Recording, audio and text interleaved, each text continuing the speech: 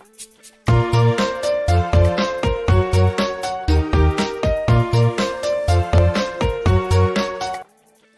morning students. Today we are going to learn standard first subject English 2.2 action time. नमस्कार विद्यार्थी मित्रांनो आज आपण इयत्ता पहिली मधील इंग्रजी विषयातील दोन पॉईंट दोन कृतीची वेळ हा घटक पाहणार आहोत लिसन अँड ऍक्ट ऐका आणि कृती करा या ठिकाणी काही कृती दाखवलेल्या आहेत. त्या पहा. दिलेल्या सूचना व्यवस्थित ऐका आणि त्या कृतींप्रमाणे तुम्ही सुद्धा कृती करा. स्टँड अप स्टँड अप म्हणजे उभे राहा. या ठिकाणी दोन मुले उभी राहिलेली तुम्हाला दिसत आहेत. त्या पद्धतीने तुम्ही सुद्धा उभे राहा. सिट डाऊन सिट डाऊन म्हणजे खाली बसा. मुले खाली बसलेली दिसत आहेत. त्या प्रकारे तुम्ही सुद्धा उभे राहिलेले आहे. ते आता खाली बसा. गो दयर गो दयर म्हणजे तेथे जा. एखाद्या ठिकाणाकडे बोट केलेले असते.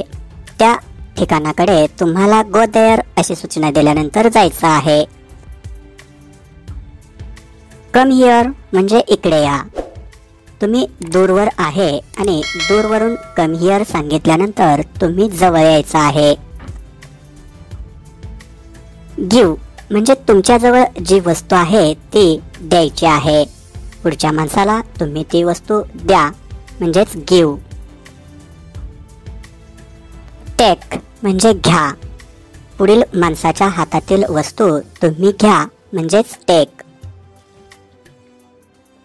टर्न लेफ्ट म्हणजे तुम्ही ज्या ठिकाणी उभे आहात तिथून डावीकडे वळायचं.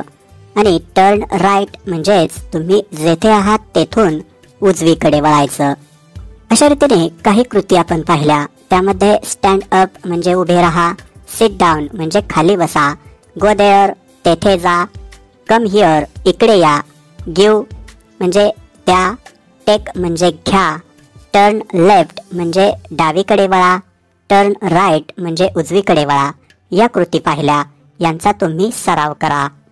ट्रेस द डॉट्स या ठिकाणी दिलेले जे टिपके आहेत ते डॉट्स जोडा आणि कशा प्रकारचे बाण म्हणजेच ॲरो तयार होत आहेत ते पहा.